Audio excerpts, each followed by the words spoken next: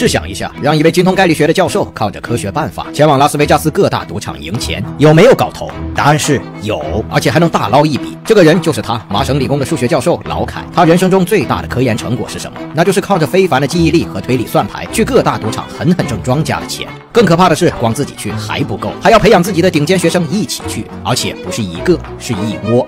就这样，一个云集数学天才的专家小组，带着一整套逻辑缜密的科学策略，直飞拉斯维加斯，人人换上全新的伪身份，开战。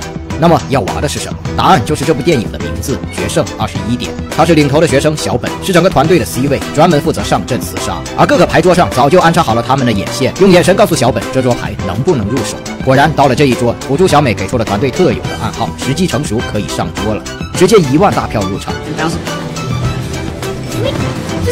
这又是一句暗号，什么意思？关键词是甜，代表牌面的整体点数是正十六。小本马上心里就有数了，基于这个点数，立刻开始记牌，不断推算着输赢概率，进退自如。在老凯的观察中，小本展开了整晚的疯狂斩杀，通宵达旦，桌上已是满满的战利品，就像个包夜的学生一样。出来时他已疲惫不堪，但不一样的是，口袋里已经揣着近十万美金，而这还是他入团以来的首战。就这样，他们平日照常上课学习，周末就来拉斯维加斯集体采矿。仅仅几周下来，当初一个个条件普通的学生，很快过上了与周同学完全不一样的生活，买买买更是不在话下。但是他们的一举一动都在赌场的监视之下，小本异常的高胜率很快引起了安保的注意。同样精通算牌的主管一遍遍看着监控录像，立刻分析起他们的手法。原来他们开发出的这套算法，就是靠着记录已经发过的牌来推算剩余牌的大小概率。在二十一点游戏中，如果剩余的大牌多，那庄家的胜率就会变低，辅助会提前入场，以小成本下注观察牌局。等到了剩余大牌多的时候，给出暗号让 C 位上桌。相反，如果剩余的小牌多，那就摸摸眼角，意思是再去别处看看。不光如此，上桌后他们还有着一套更高级的算法，来精准评估剩余牌的大小概率值，而且用不同的暗语来表示，如果情况不对了，那就撩一下头发，赶紧撤离。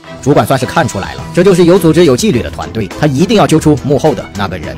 啊看到这，我必须告诉你，这又是一部根据真人真事改编的高能电影。小本才是真正的主角，他的原型是九十年代麻省理工的一位华裔数学天才。当时他带着班上一群同样拥有超强算牌能力的学生，就靠着这个办法横扫世界各大赌场，数月之内狂捞一千万美金，让这些大出血的猎物们苦不堪言。在这部电影中，片方还邀请他客串了一个荷官的角色。回到电影一开始，这位天才生小本在麻省理工上学时成绩非常优异，还没毕业就被保送进哈佛医学院。可保送是保送，学费还得要三十万。小本就是个普通的理工宅，没身世，没经历，更没钱。来到哈佛校长面前，想申请三十万的全额奖学金，但七十六人中仅挑一人，而且个个都是人中翘楚。可小本除了学习好，别无出彩之处，哪来的胜算？好在数学教授老凯看中了他超强的算力和理性思维，又因为团队中一名骨干去了某个大公司，C 位被空缺，就把他带上路了。小本因此不仅解决了钱的问题，也在拉斯维加斯体会了自己想都不敢想的生活。更让他高兴的是，当初暗恋过的校花女神也在这团队里。一个月的相处下来，他们之间还有了感情。但金钱这东西来多了，总会冲昏一个人的头脑。入组前，他只想挣够三十万学费就走，眼看现在已经够了，他却想要更多。业余时间都耗在二十一点上，和舍友之间的感情也越来越淡，还经常心不在焉办错事。因此，小本也被踢出三人努力了一年的机器人项目。这晚他心情很不好，在赌桌上毫无状态，节节败退。辅助赶紧撩头发示一撤退，但他根本不为所动，甚至开始了最致命的操作——豪赌。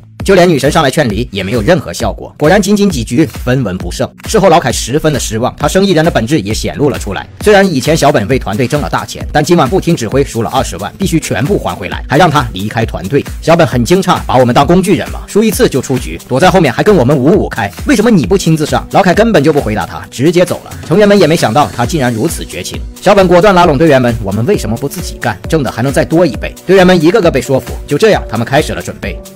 Winner, chicken dinner. 这句大吉大利，今晚吃鸡，最早就是从这部电影中传开的。因为在以前的拉斯维加斯赌场，一份鸡肉饭是一点七九美元，而赌赢一把至少赚两美元，所以就能大口吃鸡了。如今这句话甚至比恭喜发财还要火热。摆脱了老凯，小本亲自带团队准备彻夜吃鸡。眼看着战况不错，但谁知道老凯这老东西也是坏到家了。一通匿名电话悄悄给他们预定了一顿大嘴巴子。安保主管直接带着人就来了，把小本抓到了地下室，给他换了个新妆容。吃了顿教训的小本这才明白过来，原来赌场会打人啊！怪不得老凯不亲自上场。还有小队里之前那个离开的 C 位，根本就不是去了什么大公司。主管已经猜到了背后的人是老凯，因为他们早就有过交手。当初是那家伙一晚上卷走了上百万，害得他直接被上家赌场炒了鱿鱼。今天坐这的要是老凯，肯定给他画一个更浓的妆。